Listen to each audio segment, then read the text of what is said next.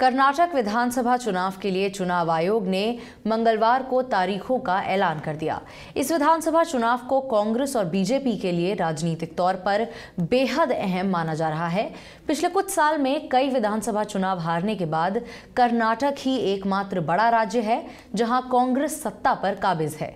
कर्नाटक को जीतने के लिए बीजेपी का प्लान क्या है, ये बता रहे हैं गोन्यू संवाददाता रमन ममगई चुनाव आयोग ने आज कर्नाटक चुनाव की घोषणा कर दी है, लेकिन इससे पहले ही जो राजनीतिक गहमा गहमी थी वो बढ़ गई थी। कर्नाटक चुनावों की जो आहट थी, उससे पहले ही जो पार्टियाँ हैं, भारतीय जनता पार्टी, कांग्रेस कर्नाटक को लेकर काफ़ी गंभीर थी, क्योंकि कांग्रेस नहीं चाहती कि एक बड़ा राज्य उसके हाथ से फिसल जाए। वैसे ही नॉर्थ ईस्ट के राज्यों की तरह कर्नाटक भी भारतीय जनता पार्टी के लिए चुनौती का सबब बना हुआ है। दक्षिण में एक राज्य है जहाँ भारतीय जनता पार्टी की सत्ता रही है, और अब येदियुरप्पा को लेकर मुख्यमंत्री का चेहरा बनाकर वो इस बार भी जीत हासिल करना चाहते हैं। लेकिन कर्नाटक के राजनीतिक समीकरणों को देखें तो जो तटीय क्षेत्र है, वहाँ राहुल गांधी ने अपने दौरे भी किए, वहाँ की जमीनी हकीकत को उठाने की कोशिश भी की, लेकिन वहाँ बीजेपी का दबदबा रहा है पहले से। अगर बेंगलुरु शहर की बात करें तो बेंगलुरु शहर में भी भारतीय जनता पार्टी, शहरी पार्टी मानी जाती है तो वहाँ पर भी उसका उसका अच्छा खासा दखल है बेंगलुरु शहर में।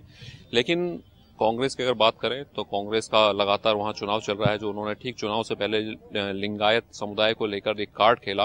वो भारतीय जनता पार्टी के लिए काफ़ी मुश्किल पैदा कर सकता है, क्योंकि लिंगायत समुदाय भारतीय जनता पार्टी के लिए एक तरफा वोट माना जाता था। तो अब किस तरह से वो इस पूरे मुद्दे को लेके जाती है आगे, किस तरह से लिंगायत समुदाय के वोट बैंक को बचा पाती है, वो देखना होगा।